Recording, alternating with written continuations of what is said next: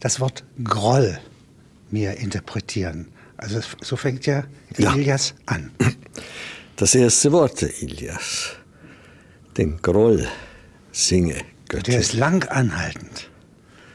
Es ist eine ungeheure leidenschaftliche Kurve vom Beginn, vom ersten, von der ersten Zeile an bis zum Ende des Epos.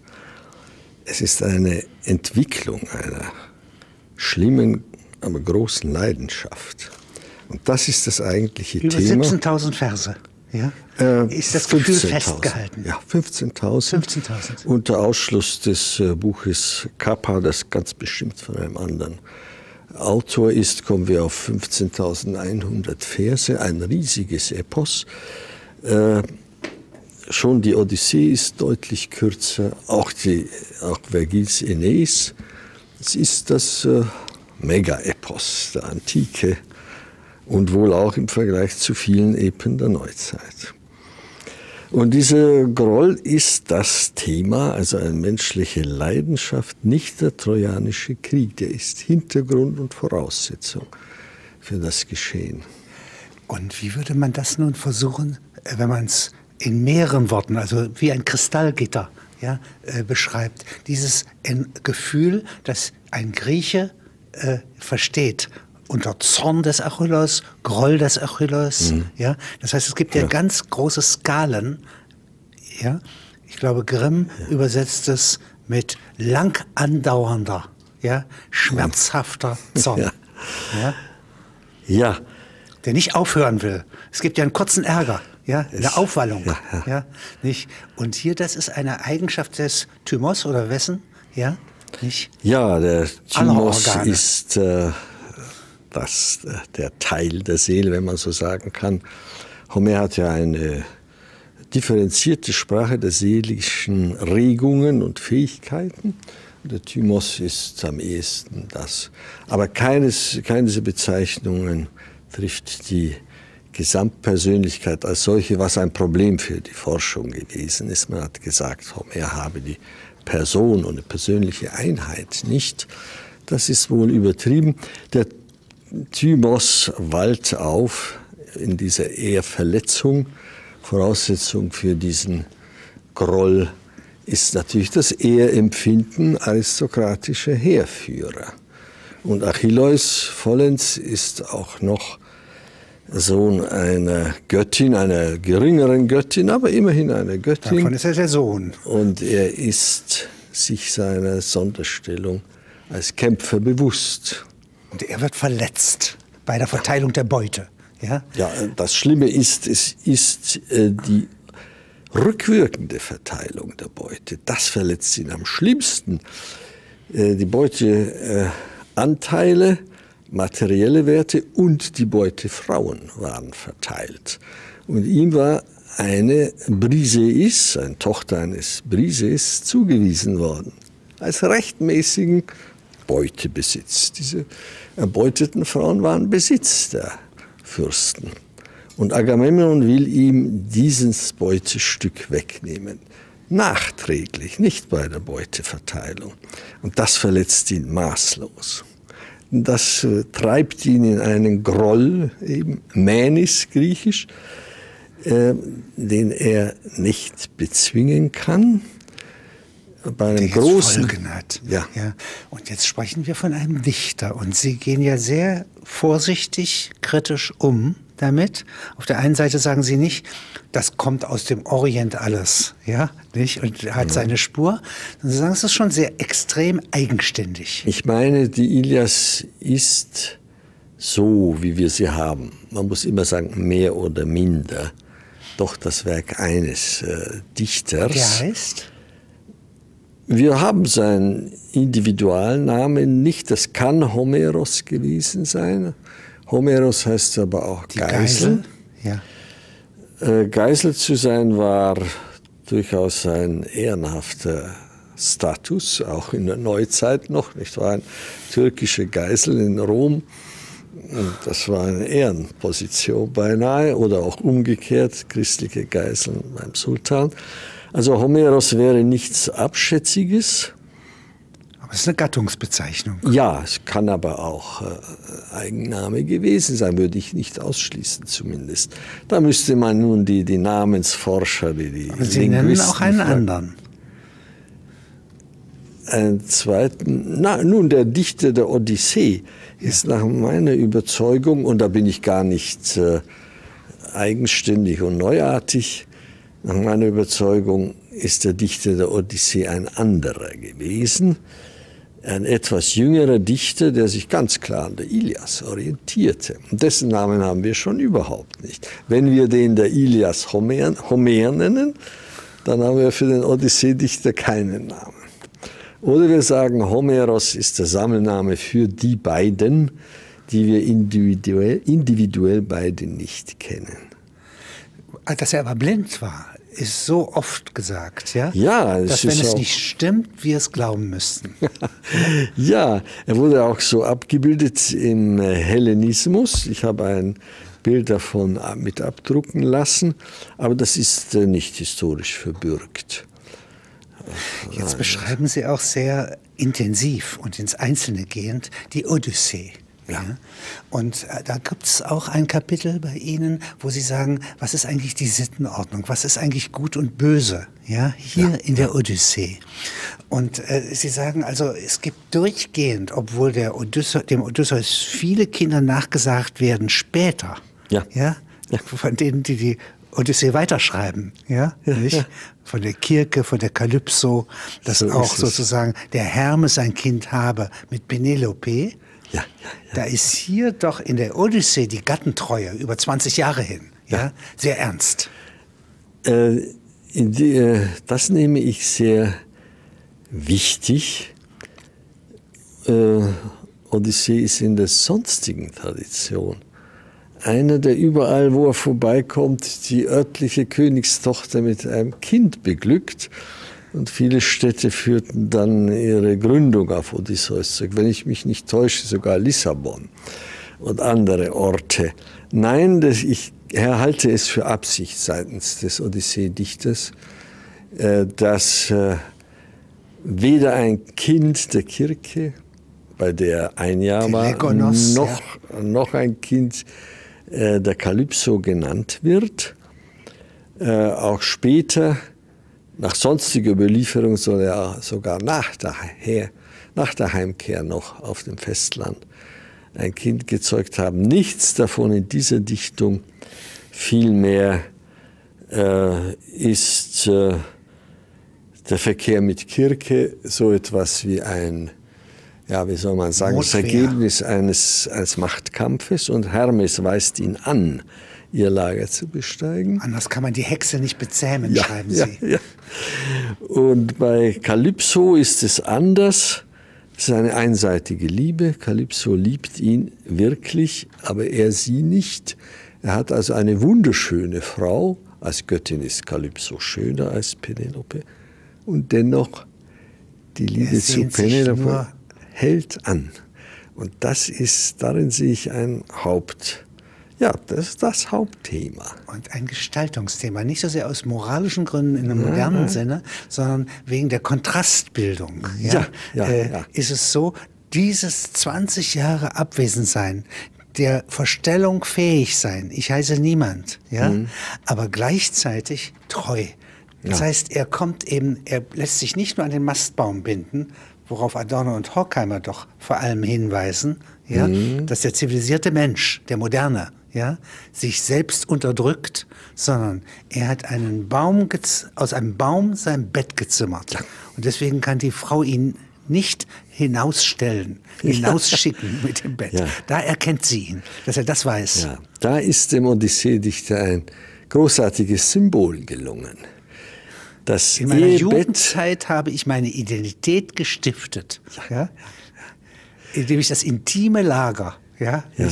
aus einem Baum, in einen Baum geschmiedet habe. Und deswegen kann es keiner verschleppen und verrücken, auch kein Freier. Ja, ein großartiges Symbol, das diesem Dichter hier gelingt. Und das Symbol bedeutet lebenslange Monogamie. Äh, das ist archaisches Griechentum. Ich habe an anderer Stelle einmal darauf hingewiesen, dass vielleicht zur gleichen Zeit, vielleicht etwas später, äh, die Geschichte äh, von Jakob im Alten Testament zu lesen ist. Jakob hatte nicht nur zwei Frauen, sondern auch Kinder von deren zwei Zofen. Das sind die Kinder, das ist die Großfamilie der zwölf Söhne. Ein Mann, vier Frauen, zwölf Söhne. Das ist etwas anderes als äh, das Symbol des selbstgezimmerten um einen unverrückbaren Ölbaum äh, gebauten Ehebettes. Sie werden es aber bei Karl Barth wiederfinden, nicht? Mhm, ja. ja. Und bei Max Weber auch. Ja? ja? Das heißt, es ist uns nicht völlig fremd. Nein, nein, nein, nein, nein, nein. nein. Unser europäisches Erbe kommt von da. Also nicht aus dem Alten Testament, das an der Polygamie Jakobs absolut nicht anstößt, nimmt, nicht nehmen kann. Ist, nachdem Penelope ihn wiedererkannt hat, nach 20 Jahren weigert sie sich ja, da diesen Herkömmling, ja, ja, diesen Hochstapler ja, für Odysseus zu nehmen. Nicht wahr? Und das ist eine lange Zeit. Wie eine Jungfrau wehrt sie sich zunächst, mhm. ja, nicht gegen die Wiederkehr des Gatten. Und dann erhalten die Götter doch den Tag, die Nacht an, damit die erzählen können. Ja, ja. Das steht bei Homer. Für die Liebe auch. Die Liebe hält die Sterne an ihrem Lauf an. Athene, ja? Athene äh, verlängert die Nacht. Weil äh, so viel zu erzählen ist. Ja. Äh, das sind die zwei Zweck, äh, Zwecke. Äh, zu berichten, wie es war in den 20 Jahren und die eheliche Liebe. Wie in einem Chor, wie in einer Oper. Das ist fantastisch, ja. Fantastische ja? Vorstellung. Nicht? Ja. Und vorher eine grausame Szene, die Sie auch intensiv beschreiben, wie die Freier abgeschlachtet werden. Die ja. haben ja zu Anfang gar keine Chance. Hm. Gegen die Fernwaffe des Odysseus. Ja? Das ist, äh, das ist sehr spannend geschrieben. Der Odyssee-Dichter ist ein großartiger Erzähler. Aber hier hat er ein Problem. Nicht wahr? Einer hat eine gefährliche Waffe. Und gefährliche Vermögen, also diese Kraft, sie zu spannen. Ja, ja, er ist nicht, weit stärker. Ist das einseitig, ungerecht? Ja, ja. Und darum wirft er das Steuer mitten in der Erzählung herum. Die bis dahin unbewaffneten Freier können sich mit Waffen versehen. Jetzt sind sie plötzlich mehr als einer. Ja. Also die Zahl der Freier ist sowieso ein kleines Problem. Ich bin darauf nicht eingegangen. Es ist auch nicht sehr prominent, das Problem. Aber es gibt eine Stelle, da beziffert Telemachos, äh, der unter der Willkür und Arroganz der Freier schon lange leidet, der beziffert deren, Fra äh, deren Zahl einmal auf 108. Also eine riesige Zahl junger Männer. Ein Gelage, ja. ja. Und wenn die alle in dem Saal waren, hätte der Saal natürlich etwas größer sein müssen, als wir aus der Archäologie kennen, diese Megara in den Palästen der Peloponnes. Das waren ja kleine Räume. Äh, gut, es ist auch in der äh, Szene des Freier Mordes äh, nicht äh, gesagt, dass alle 108 da waren. Trotzdem, man muss sich eine große Zahl vorstellen. Die haben zwar noch ihre Schwerter, die man offenbar nicht ablegte. Aber Odysseus hat äh, den gefährlichen Bogen. Und da wird einer nach dem anderen getötet. Und das ist so ungleich, so unfair, das spürte der Odyssee-Dichter dann doch. Wobei er dieses Niederschießen der Unbewaffneten oder zumindest nicht gepanzerten und mit Fernwaffen nicht versehenen offenbar aus der Überlieferung übernehmen musste. Er hat ja die Hauptpunkte des, der Sage nicht selbst erfunden, ganz bestimmt nicht. Diese Rückkehr nach Hause, das war Teil der Odyssee-Sage. Und dann empfand er eben, dass äh, der Kampf zu ungleich ist und er bewaffnet dann beide Seiten was dann erzählerisch nach meinem Gefühl, aber das ist vielleicht ganz subjektiv, nicht mehr so gelungen ist wie alles bis zu dem Punkt. Und dann hat man einen Kampf, der mehr von gleich zu gleich ist, mehr aristokratisch, nämlich Hopliten. Die Hopliten waren die vollbewaffneten Kämpfer mit Helm, Panzer, Schild, Fernwaffe. Kann man die Spannung auch noch mal steigern, denn ja, der Ausgang ja. ist nicht gewiss. Ja, ja. richtig. Die, äh, die, die Freier sind immer noch in der Überzahl, obwohl äh, Odysseus alle Pfeile verschossen hat und jeder Pfeil traf, natürlich. Aber es sind immer noch zu viele. Jetzt in diesem Massaker ist ja äh, viel Erschütterndes, aber richtig erschütternd, bis in die Knochen, ist eigentlich der Tod der Mägde. Wenn ja, die hängen, ja, ja, wenn Sie mir mal beschreiben, wie ist das beschrieben beim Dichter, wenn die Füße noch einmal sich bewegen? Ja, und das, dann geht das, ist das Leben geflohen. Es, es ist ja? eindrucksvoll, Sie sagen es, sehr eindrucksvoll. Und für modernes Empfinden ganz und gar nicht nachvollziehbar. ich meine, Anfang 21. Jahrhundert. Aber wenn man sich ein bisschen äh, hineinversetzt in archaische Ethik, dann geht es darum, dass diese Mägde, es sind nur zwölf von 50, äh, die Loyalität zum Königshaus total. Sie haben beigeschlafen ja, mit den Freiern, ihre Herren die, verraten. Ja, jawohl. Das ist ein Verrat an der Loyalität, denn sie schlafen ja mit dem möglichen, mit einem möglichen künftigen Gemahl der Penelope.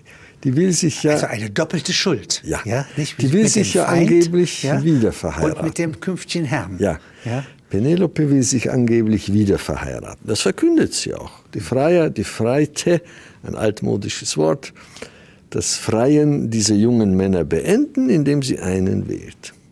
Aber die schlafen inzwischen mit äh, den Freiern, das heißt, sie schlafen mit ihrem künftigen Herrn, und Gemahl der Herrin. Und überbringen das ist, wahrscheinlich auch Geheimnisse des Hofes, nicht? Also alles das möglich. Ist, ja? Das ist gut und deswegen möglich. werden sie gest notwendig gestraft. Und ja. dennoch die Einfühlung, dass der Dichter ihnen diese Aufmerksamkeit gibt, mhm. dass er den Moment des Todes, ja. wenn die Seele entweicht, ja, nicht, so festhält, wie er sonst nicht tut. Ja, also er hat große Aufmerksamkeit für charakteristische die Beine Details. Noch einen ja, Moment. Ja. Ja? Es ist nicht das so. Das verblüfft. Sie haben recht. Das ist modern. Also so sowohl ja. der Tod der Freier kann empören. Ja. Warum müssen die alle sterben? Sind die alle gleichmaß, gleichermaßen schuld? Das gibt es doch gar nicht. Wo ist die, ja? Nicht? Ja. Also und die, es gab ja auch Anführer der Freier, die selbstverständlich müssen gestraft werden. Aber alle. Der Nun, Jüngste könnte doch entkommen. so ist es.